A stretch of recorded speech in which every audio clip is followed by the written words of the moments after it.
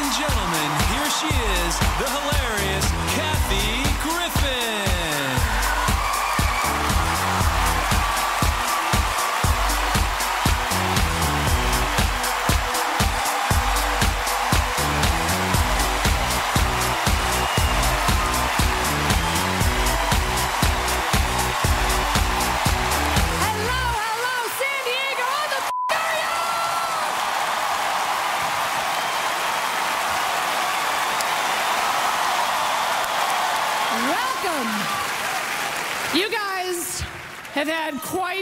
week, haven't you?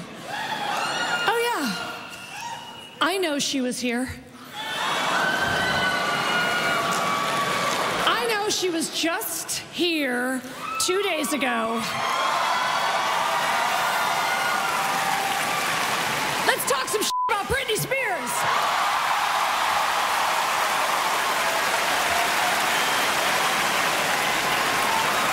I I'm very open about my love for Britney. I'll take any Britney, crazy Britney, sane Britney, um, and I saw the current tour, Circus. I thought it was great. Now, um, the great thing about the current Britney tour, if you saw it, is it has a lot of fantastic dancing, and she doesn't like she doesn't get bogged down in any um, singing.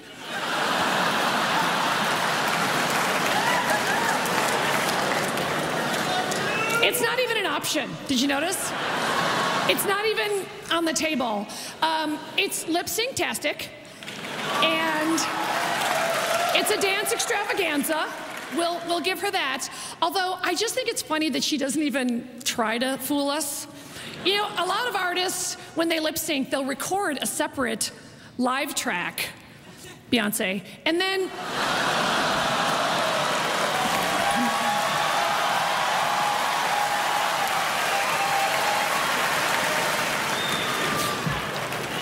And we're gonna get to Taylor and Kanye in a minute.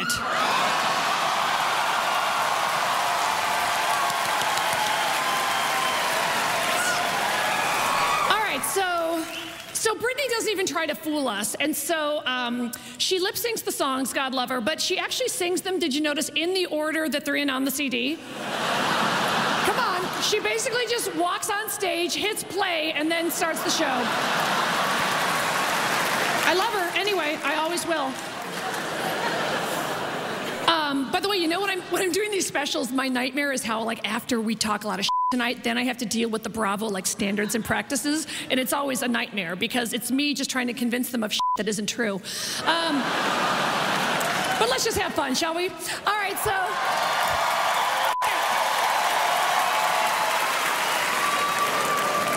So anyway, um, let's.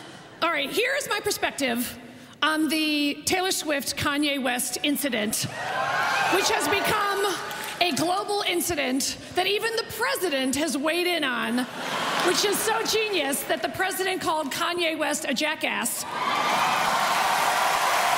That's kind of funny.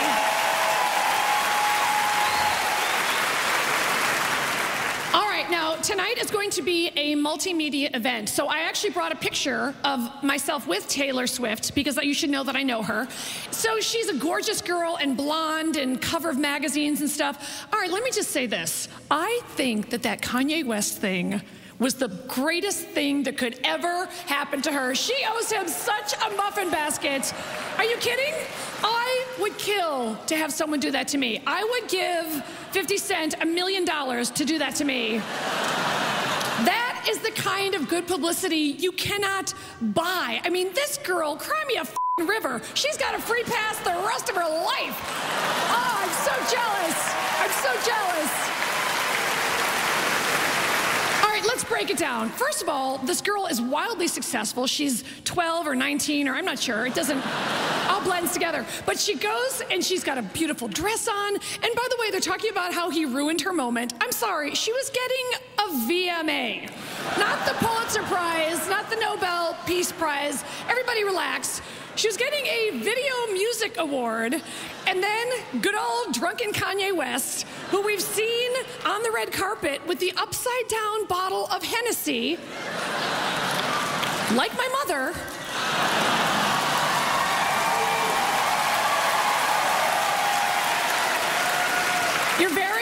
Maggie Griffin, who you have made a superstar, of course. And by the way, you should know that there's a secret side of Maggie. There's more to that moo than you know. Well, as you know, she loves her box of wine and also is not technically a paid spokesperson for Franzia, but should be. She really has been their goodwill ambassador when you think about it. No one has promoted Franzia or tipping a box of wine more than my mother. Tip it!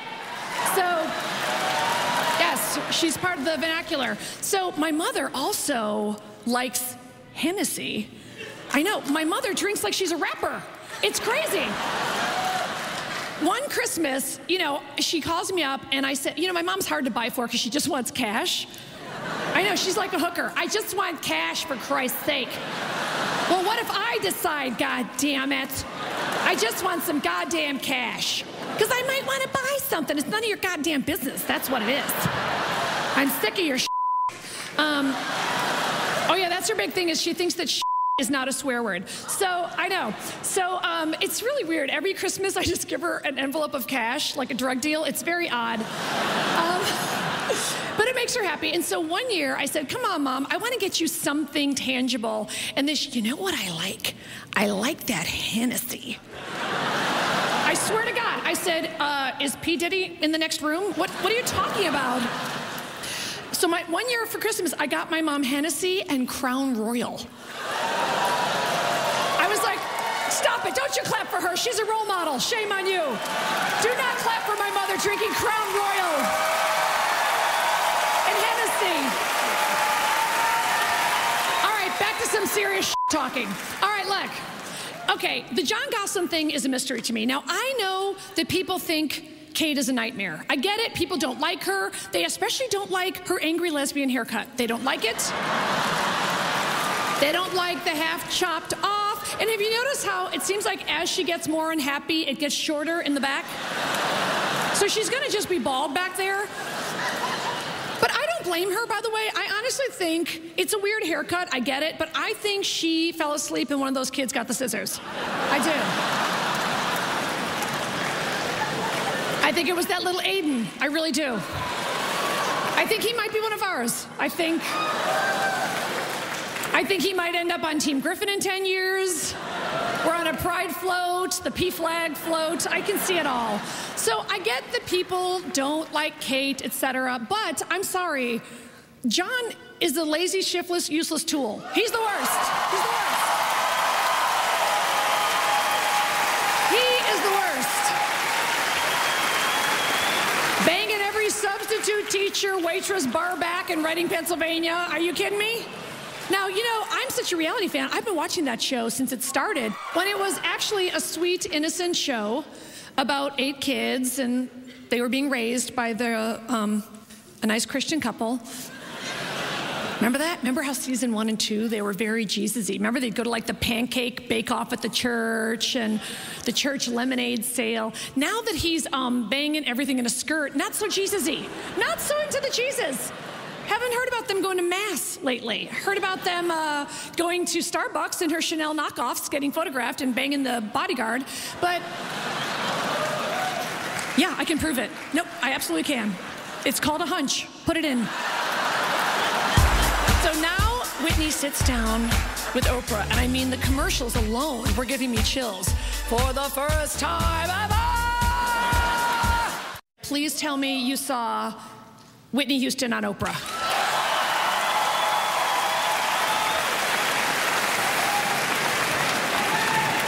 Okay, first of all, I want Whitney's comeback just as much as everybody here. I love her, she's a diva, I get it. So I have the double disclaimer. So my first disclaimer is the Oprah disclaimer because I do believe that someday she will kill me. Hold on, let me talk to legal. No, I can't prove she's gonna kill me, but I'm pretty sure. Be- because I just know things. That's why. I just put it in. All right, so. So, you know, I love to make fun of Oprah, and I love Oprah, and I love Whitney, and let me tell you, I am pulling for her. And after seeing her singing, singing, um,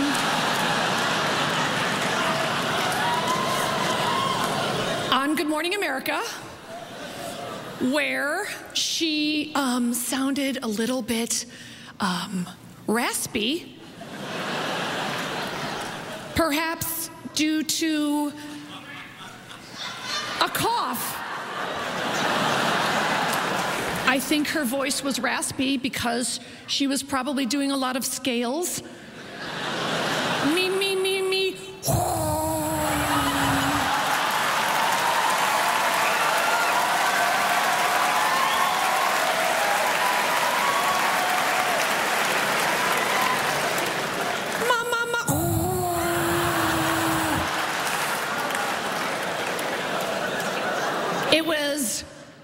Whitney in Central Park. She knew that park pretty well. Every bush. Um, all right, so she goes on, and how crazy was it when she goes on with, by the way, the first red flag, the crooked wig. right?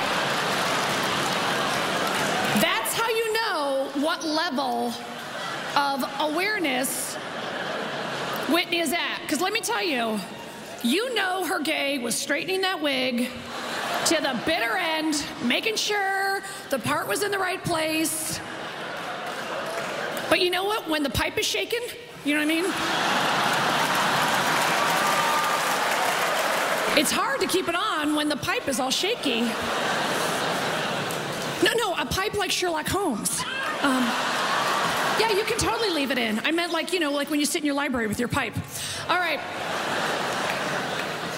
So she then goes on Good Morning America and starts singing her hits. And my favorite was when she was like half talking them, and then she started singing a brand new song that had never even been on the radio and doing this. Shit. Come on, y'all.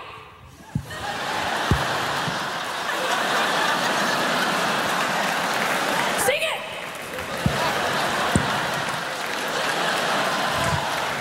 And the poor gays with the signs are like, we don't know that song yet. It's not even. Go Diva. I mean, we don't know that song. I, I would like to. I don't. All right. So then, she um, does her couple of songs, and then she decides to sing "I'm Every Woman," which is very exciting, big hit. So she was um, singing "I'm Every Woman." And then she actually announced, after singing the song, that um, she lost her voice and she admitted her voice was raspy and actually blamed someone for it. And I got a little nervous when Whitney Houston had the nerve to blame Oprah. Now I'm cramping. I'm cramping. Hold on. I'm cramping from fear. Now,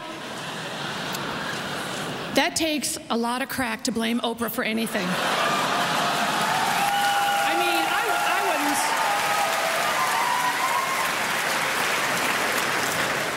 So then, when we get to see her on Oprah, I really thought she had sung like 20 songs on Oprah, and it turns out it was this weird sit down, which blew Oprah's mind. And you know, it's hard to blow Oprah's mind. She's seen everything, heard it all. And by the way, I know this is terrible, but I can't tell you how excited I was to see that for the season premiere, it was Big Fat Oprah. you can handle it, San Diego. You can handle it. We've been through worse. Now, here's my feeling. Look, I like, I prefer Big Oprah. I'm sorry, I don't like skinny Oprah. I know Oprah wants to be skinny Oprah, but her head is too gigantic.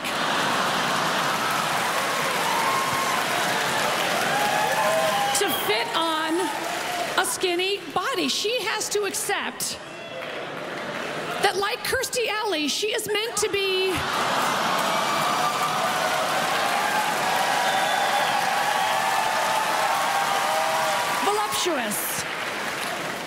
So, yeah, so now Whitney sits down with Oprah, and I mean, the commercials alone were giving me chills.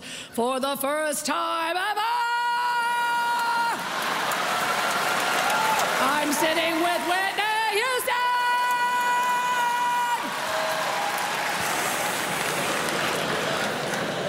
It was a good gay day, was it not? It was a good gay day.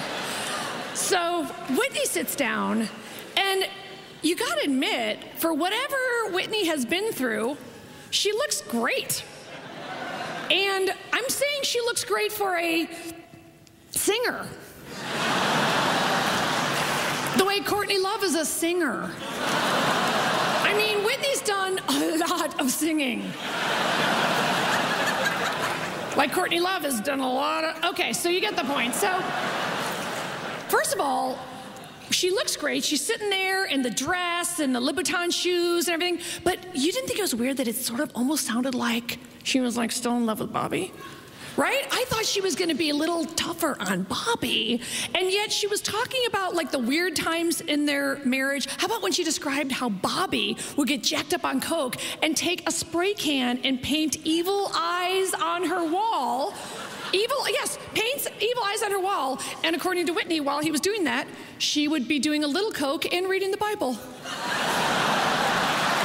Am I making that up? She said she would do Coke read the Bible, which I don't doubt for a minute. I think she knows all the Psalms by heart. And I, but I really thought she was gonna, you know, say how like she, Bobby was the most horrible thing, but it was almost like she was sort of split about Bobby. And one minute she'd be talking all Jesus-y, and you know she went to Jesus every time the went down. Because Oprah would be like, did you do cocaine? Right? And then Whitney would quote the Bible again. But then every so often she'd slip. And every so often she'd be like, I mean, don't, don't get me wrong, girl, we had good times. Ha ha, we had good times. Like that, remember? Whitney got a little cracky a couple times in a way that was tough. And then after a while, I realized the whole two days was basically just Whitney, bye Whitney, bye Whitney, bye So that's kind of what it boiled down to. And Okay, what about when she was describing exactly how she did drugs in graphic detail, like a freaking how to guide for how to do crack or rock? Or, I don't even know what it is. So, it, for, at one moment, she said she was doing rock, which is rock, crack, is that the same thing? I know it's all whack, don't get me wrong. but day she said to Oprah, I did rock. And I thought, okay, that's a pretty big, you know, admission. And then the second day, she had some fakakta story about how she would be rolling a joint and then lace it with powder cocaine. That doesn't even make sense. But then she gets really into detail and she sat forward in her chair. She's like, oh, girl, what you do is you take the joint, you put it in there. And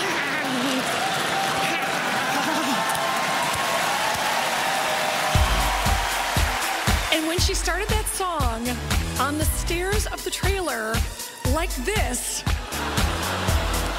shooting the beat, pew, pew, pew. Ow! Miley, that stings. First of all, you should know that um, there's a new man in my life. I, yeah. That's right. I'm going to tell you about my new boyfriend, Levi Johnston.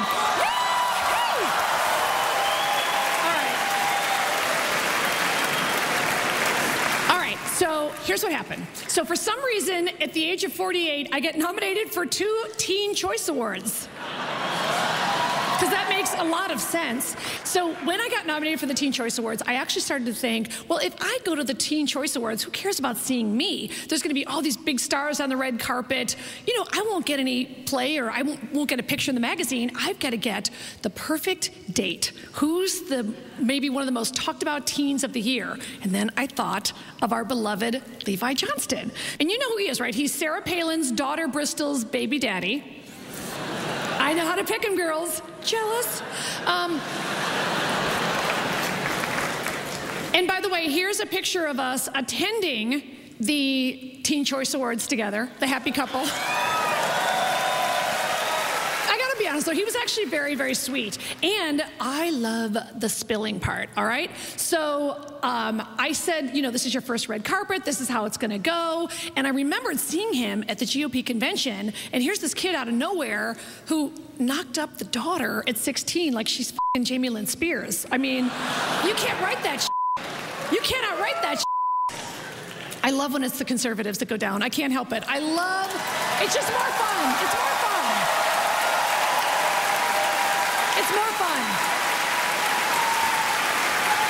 When Bristol showed up at the convention with the baby bump, I just was in heaven. Glenn Beck was crying. It was great. And then Levi shows up, you know, dressed like the Menendez brothers. I just, oh, I love the whole thing. I loved it. So, sure enough, we get in the car, and I'm kind of trying to tell him what's going to happen. All these stars are going to be there and stuff. And then he says, Well, you know, don't worry, I won't say anything. And I said, Why would you say that? And then he told me that when he went to the GOP convention, this is some inside that cannot leave this civic theater. Um, okay, so he told me that when he went to the GOP convention, someone from the party said to him, Shut your mouth and don't talk for three days. So I said, Well, I feel the opposite. Whoever told you that, that is not how I feel. I would like you to talk as much and as often as you like and in particular about Sarah Palin. So really, no holds barred. So yeah, he was he was like spilling the Palin dirt. It was heaven. If you read that article, he said a lot of it in the article. He said, first of all, he's never seen Sarah Palin and Todd Palin share the same room. I know, I know exactly.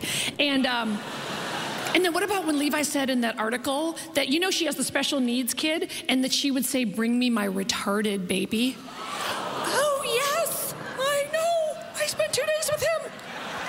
All right, so uh, sure enough, we go to the red carpet, and it was hilarious because all the big teen stars are there. The Gossip Girls, the High School Musical kids, the vampires. There was a lot of vampires there from Twilight. And sure enough, I'm there with my date, Levi Johnston. And it was so funny because when I was doing like Entertainment Tonight and Access Hollywood and stuff, they would look at me with one question and then they looked at him.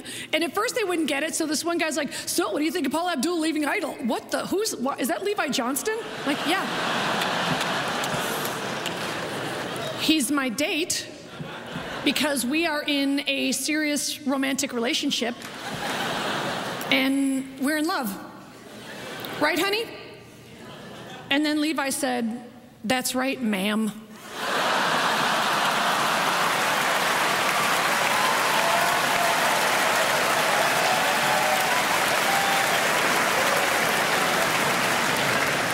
yeah, I have a boyfriend who calls me ma'am.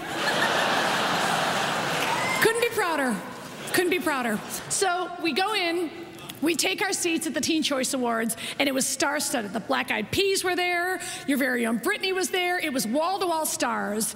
So I'm sitting there with Levi Johnston, and as if that isn't weird enough, I hear them say on the microphone, Okay, everybody, take your seats, take your seats. We're back in a few seconds with a performance from Miley Cyrus.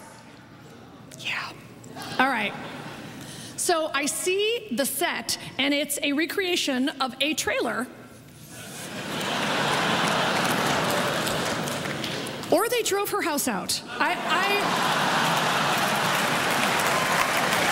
yeah, that's her house because I'm a realtor on weekends. That's why. Put it in.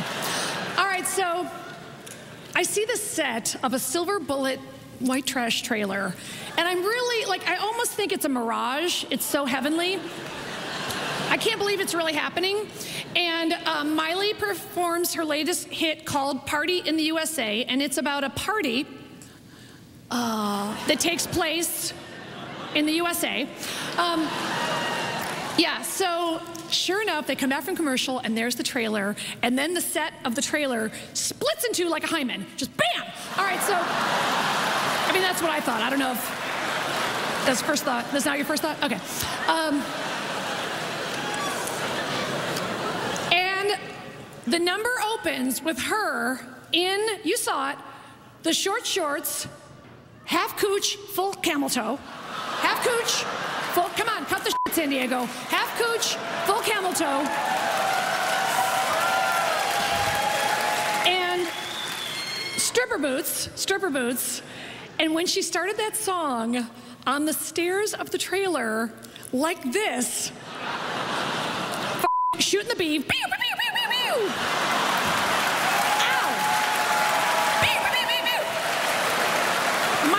stings. Miley, that's my eye. So she's starting the song like this. All right, so I almost can't handle it and she's continuing the song, and there's a lot of grinding, and the stripper boots, and the short shorts. She already shot me in the beeve like four or five times. and then something else comes on stage, which we'll call a set piece. Because when it was happening, I actually thought, maybe I haven't been getting enough sleep. Maybe I need a little propofol, because this cannot be real. They roll out a stripper pole.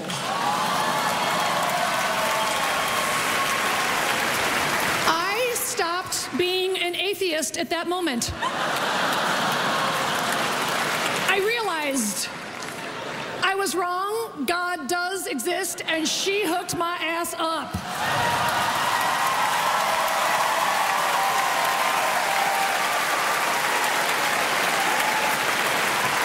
All right. So, one minute I'm watching a little bit of ridiculousness. The next minute I'm watching 16 year old Miley Cyrus on the stripper pole singing Party in the USA. Really? like really working the pole. And I, even even the audience the Teen Choice Award, the jaws were on the floor. And the best is Levi Johnston, baby daddy, turns to me and says, "Ain't she like 16 years old?"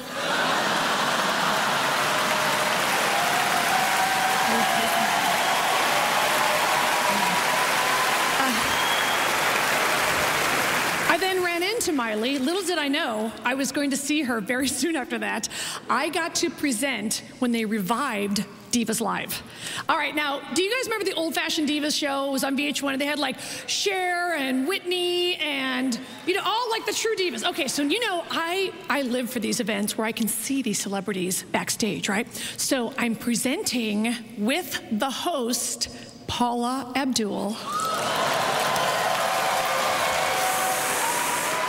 I, I do have a picture of Paula, but I'll warn you, it's a little bit blurry, but that's on purpose. Let's take a look, because this is how she sees the world. so I figured it's kind of accurate in a way. All right, so they said Paula's hosting, and I said, okay, great. And I really get a kick out of her. I think she's a pistol and she's um, unpredictable. like the way Courtney Love is unpredictable. So sure enough, I show up to the theater and it was really exciting and everyone's rehearsing and I got to see, you know, everyone singing and all that stuff. And Paula was not rehearsing with me for some reason because she was busy dancing as fast as she can. Um, she really was dancing as fast as she could. Um, and she's a tiny little pixie of a girl and she actually looks fantastic. So I did need to rehearse with her though. So I got there hours early and they kept saying she can't, she can't, she's too busy. And I was like, okay, I get it. She finds me annoying, I get it. But at some point, I really do have to rehearse with her. So a few minutes before the show went live, which I love that they put her on live. I know. Um, the producer said, okay, Paula can run the bit with you in her room. Are you okay to go to Paula Abdul's dressing room? I said, uh, yeah. Are you kidding?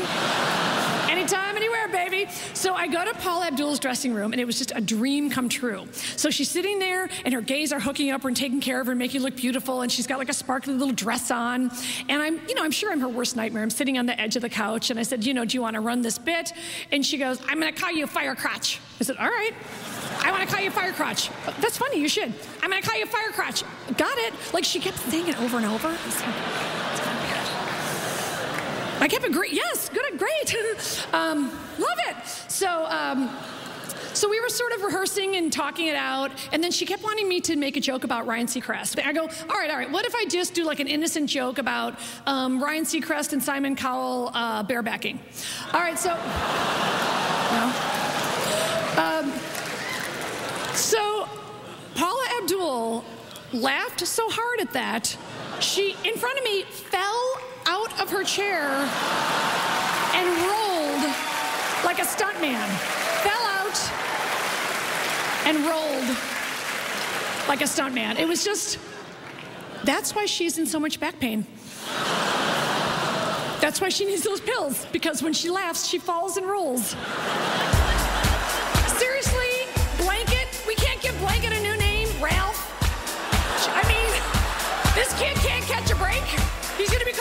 Blanket the rest of his life. All right, here's the deal. I, I'm a pretty thin girl, right? Okay, so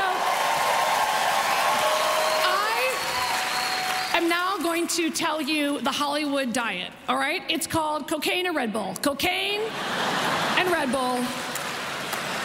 No, you know why I'm thin? Because I'm hungry all the time. All the time. I'm hungry now. I wish I could have pancakes. I wish Paula Deen would come to my house and deep fry some pancakes, put some powdered sugar on them, some syrup. Hungry and bitchy. There's my diet secret. Hungry and bitchy. The thinner I get, the bitchier I feel. I'm hungry all the time. There. Diet's big diet secret. Big diet secret. By the way, when I when I was back on The View, um,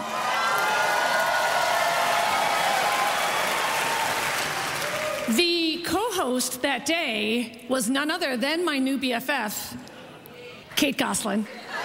Oh yeah. Um, sorry, Paris, I have a new BFF. And they fixed her hair. They were so proud of fixing her hair. Yeah, I know.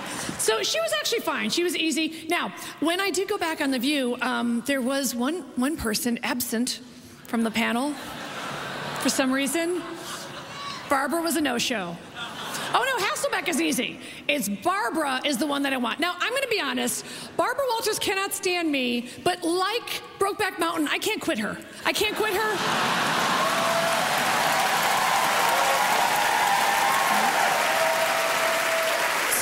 I get booked on The View, and then I find out that they're doing two shows that day. They're doing a live show, and then the show I'm on isn't live for some reason. Weird. And um, one of the producers says that Barbara is not able to stay for my show because she has an appointment. I know. I'm like, yeah, she stars in her own show. That's her appointment. What is she doing? And like, oh no, no, she can't stay. It's, I said, is it because of me? You can just tell me. No, no, not at all. She has an appointment. All right. But they said that the co-host that day instead would be Latoya Jackson. Oh, it gets better. It gets better and freakier. Freakier. So sure enough, because they're taping a live show and then there's my show, the, in order to see or accidentally run into Barbara, I got my ass there like three hours early. Uh, I was there before like the stagehands even opened up the building, you know? So, so sure enough, they've just done the live show with Latoya, and Latoya was smart enough to get the f- out of Dodge. And so I'm walking down the halls at the View, and the View producers are there, and then I start just walking through the halls, just going, Barbara, Barbara, I'm here. Barbara, I just want to say hi. I was determined to have my Barbara moment. And, and the producers are saying, Kathy, she left. And I said, no, I really think it's personal. Barbara! And they said, she's gone. And then Tiffany goes, she made it right down the hall. Tiffany's on it. So the producers are like, what? No. So I make her right down the hall. Barbara, are you there? It's me, Kathy, I'm coming. And they're going, Kathy, she left. And Tiffany goes, second door on the right.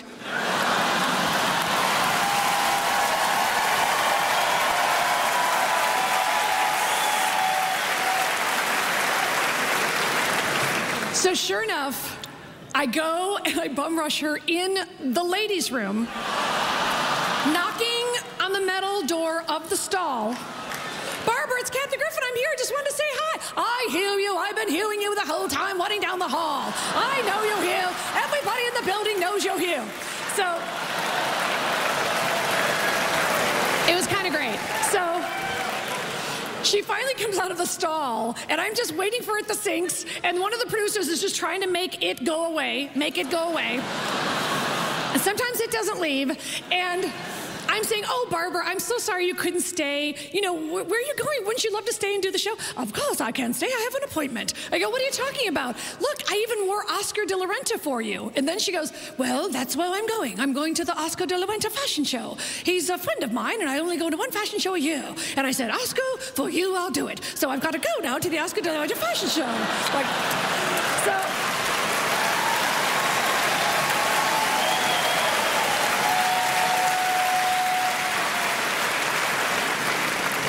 So then I'm still determined to talk to her. And I said, Barbara, I just want you to know, I really hope you read my book. I hope you like it. I really loved your book audition. And you could tell she just wanted to get the f- out of there. In fact, I have a picture of the two of us where she's very excited to be in a photograph with me.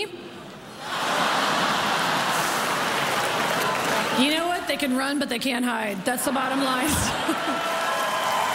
All right. So then I get an email from an unnamed friend who works in entertainment journalism who says, A little birdie told me that when you go to The View, Latoya Jackson doesn't want to be there for you either, so she's not going to do the show. Oh, I get like seven of those a day. That's no big deal. I'm used to it. And so that's how Kate Gosselin ended up doing it, which is kind of better for me because she's the one on the cover of the magazines, right? Um, and I admit, I, I, admit, I wouldn't know exactly what to say to Latoya Jackson. Like, I, am sure I would keep staring at her because um, I could, I wouldn't be able to take my eyes off her. Because I think she's she's had quite a bit of um, dental work. And you know, I've been to the dentist myself. I've had a teeth cleaning and a root canal and fillings. I've had all kinds of dental work. But I think Latoya went to the orthodontist. All right, so come on. She has a different head than she used to. She got a head transplant. Let's cut the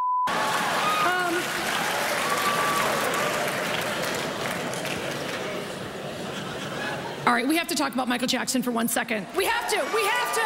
We have to. All right, so first of all, we didn't know the family was as nuts as we're now finding out. They are, right? I'm talking to you, Jermaine, Tito, Marlon, watching you.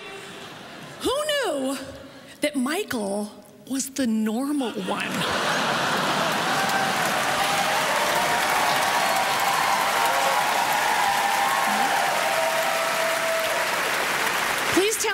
Saw the dad, Joe Jackson, on Larry King.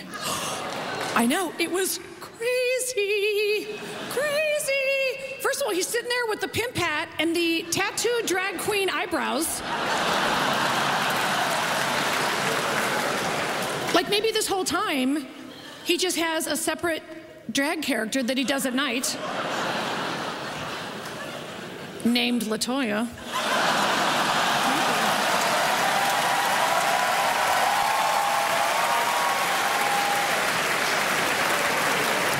Because it's possible. That's why it should be in. It's, it's not probable, it's possible. Put it in. Um, I, I'm going to be honest, I cannot get over the way he OD'd. It is unprecedented. It puts the other ones to shame. I mean, John Bonham and Anna Nicole and Janis Joplin, I mean, that was child's play. The way he OD'd is something I've never even heard of. So apparently in Hollywood, you can be so wealthy and powerful that you can actually pay a doctor. I don't know what that dude's deal is, but let's go with doctor. To, to come to your house and give you anesthesia to sleep. And by the way, you know that stuff, Diprivan or Propofol or whatever? Does, will anybody else here admit that they wish they had some sometimes? I, I know that's terrible. I know that's terrible, but there have been nights when I can't sleep that I've just wanted to say, Tiffany, get the Propofol. Tom, get some milk, some sugar, and a little Diprivan. Thanks. So, the idea that you can be so wealthy and powerful, you can pay someone to bring anesthesia, which, by the way, I have had when I've been to the dentist. All right, you know. And then you got to have like an oxygen tank next to it. I, I can't get over this. I mean, I'm trying to picture it. So Michael Jackson couldn't sleep. Okay, so then this doctor would come in and they say you put it like in an IV in your hand, and then you have to watch the person the whole time. And supposedly when you take it out, they wake right up. And I'm imagining night after night, someone was putting a needle in. Michael Jackson would lay down, then they'd just watch him.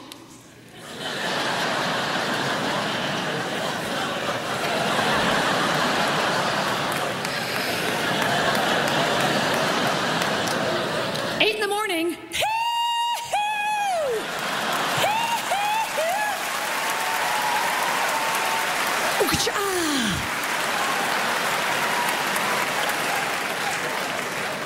Jump on. I mean,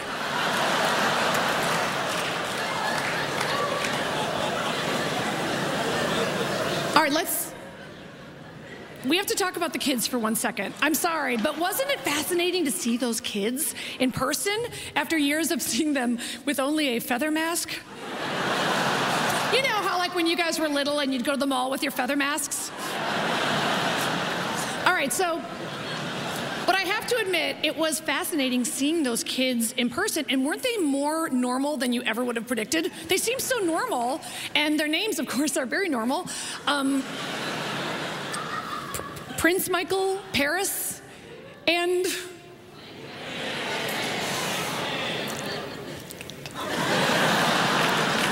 Seriously, Blanket? We can't give Blanket a new name, Ralph?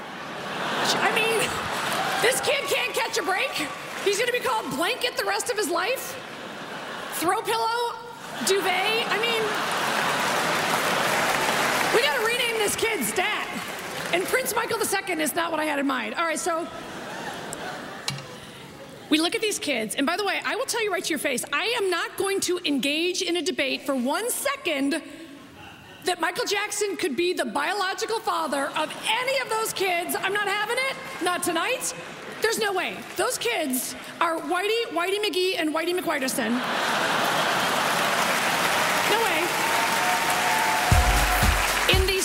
Special category, I lost to the Kennedy Center Honors. And I hate those f***ers. All right, now.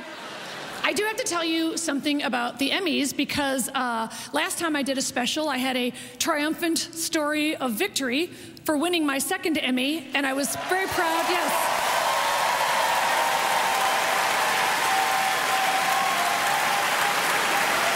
And I stand tonight with a little different story because this year I was lucky enough to be nominated for two Emmys and lost both.